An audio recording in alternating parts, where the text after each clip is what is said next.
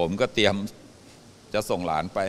โรงเรียนนะนะแล้วขับมอเตอร์ไซค์มาจะไปซื้อผักอะ่ะร้านขายผักอะ่ะก็เห็นตำรวจเต็มเลย ตกใจไหมฮะตอนแรกคิดว่าไม่ฮะ ไม่ตกใจอะ่ะแต่ว่ามันเป็นชุดชุดปฏิบัติการพิเศษชุดคอมมานโดอะไรอย่างเงี้ยผมก็ถามไอ้หนูมึงจะไปไหนกันเนี่ยอะนะเขาบอกว่าไปตรวจค้นเป้าหมาย ก็ไม่ได้สงสัยอะไรมันก็ทักผมอะ พวกลูกศิษย์ลูกหาอะไรเงี้ยนะครับ ยันท่านผู้บังคับการที่ไปอะก็ไปซื้อผักกลับมา เข้าใจว่าท่านสุรเชษ์เนี่ยนัดกำลังมาเพื่อจะไปค้นที่อื่นนะครับตอนนี้ในหมู่บ้านเนี่ยมันที่จอดรถมันน้อยไงแล้วรถตำรวจเข้าไปก็เต็มเลยเขาก็เลยไม่ให้รถนักข่าวเข้าไป ผู้จัดการหมู่บ้านบังเอิญมีนักข่าวถามว่า ผมมาทำไมเขาคิดว่าผมมาเสือกอะไรอย่างเงี้ยนะก็บอกอ๋อผมอาศัยอยู่หมู่บ้านนี้ด้วยสส่วนใหญ่หมู่บ้านนี้เป็นหมู่บ้านที่ตำรวจอยู่กันเยอะมากเลยในกรณีการขอหมายค้นเนี่ยที่ทางตำรวจอ้างว่าเขาไม่ทราบว่าบ้านน่ะคือบ้านของบิ๊กโจ๊กอันนี้มันเป็นไปได้ คือผมมองว่าเป็นไปได้นะคือคนจะรู้ว่าเป็นบ้านท่าน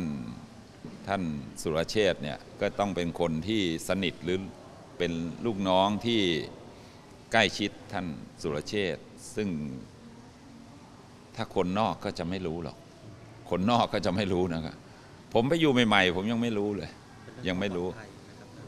ก็เป็นเขารู้สึกว่าท่านบิ๊กโจ๊กเนี่ย มาอยู่ที่นี่ เพราะพ่อคุณพ่อเขาป่วยไงคุณพ่อท่านสุรเชษเนี่ย ป่วยป่วยแล้วก็ต้องนั่งรถเข็นอะไรอย่างเงี้ยนะฮะ ผมก็ฐานะคนแก่ออกกำลังปั่นจักรยานไปอะไรไป ก็คุยกันอะไรกันตามภาษานะ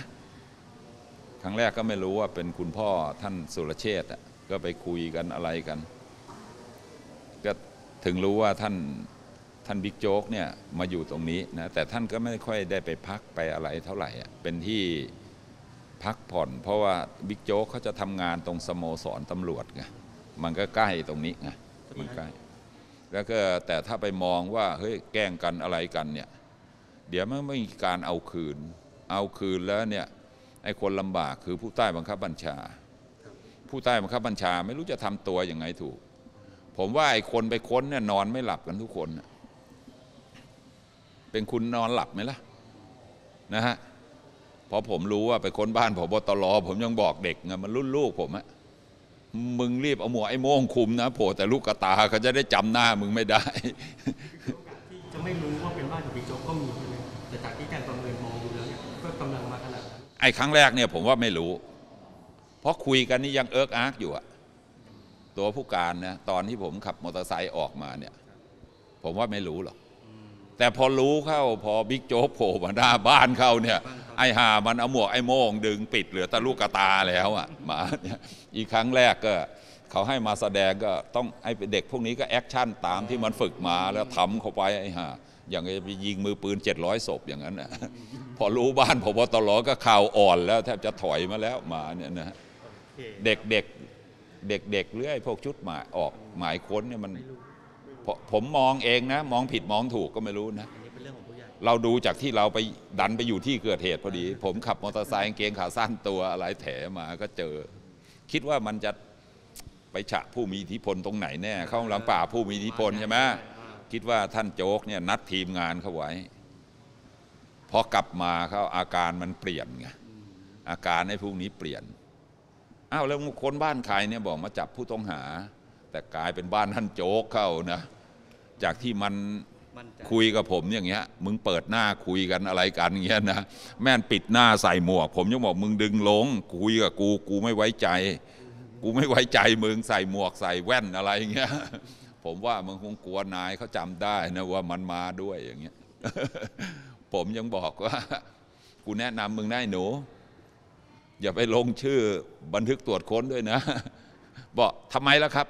อ้าวถ้ามาค้นบ้านกูกูจำหมดเลยเนี่ยมาเนี่ยจนกว่ากูจะตายจากมึงอะแหละทั้งทั้งที่มึงทำหน้าที่ ก็คุยอย่างเงี้ยเด็กก็อึดอัดใจ เด็กอึดอัดใจนะมาตำรวจมันก็ต้องทำงานไงเหมือนกับให้ไปค้นบ้านท่านอดีตรัฐมนตรี